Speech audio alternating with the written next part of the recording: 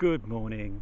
This is Mark Ambrose um, of Witham United Reformed Church, the church in the High Street, and I'm so thrilled that you've tuned in to listen to our service this morning. If it's the first time, then you're very welcome. Equally, if you've been joining us for many, many weeks, then uh, it's lovely to catch up with you too. I do pray that uh, whatever is said or sung, whatever you hear or see, I just pray that it sets off something in you that opens, opens your spiritual eyes and helps you to, to come to terms with who you are in Jesus Christ. Shall we pray?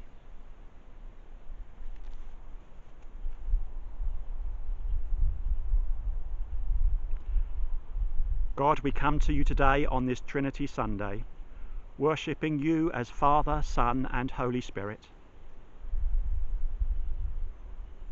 Father, you created this wonderful world and everything in it.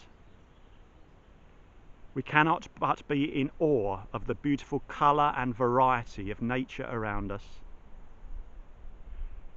Creation radiates your love, and our only response can be to worship you.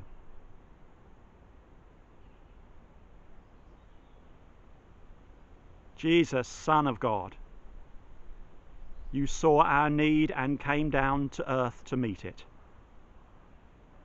We thank you for paying the price of our sin by dying on the cross. We rejoice that death could not hold you.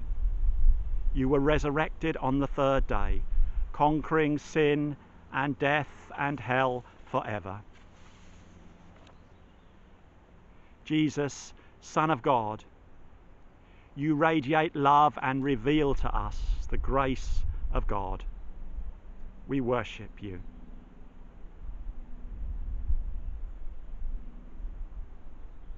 Holy Spirit, you're the living breath of God. You remind us of Jesus and encourage and challenge us and guide us in our journey. You are our friend, our comforter, radiating the love of God in our lives and through us to others. We worship you.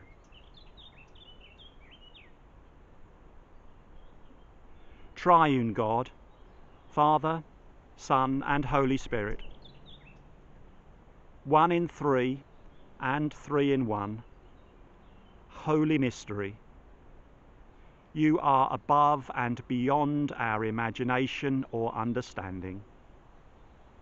We know so little about you, yet what we do know calls out for our response. We worship you, Lord.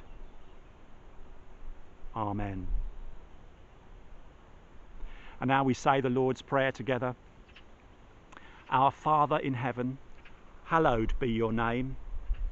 Your kingdom come, your will be done on earth as it is in heaven. Give us today our daily bread. Forgive us our sins as we forgive those who sin against us. Lead us not into temptation, but deliver us from evil.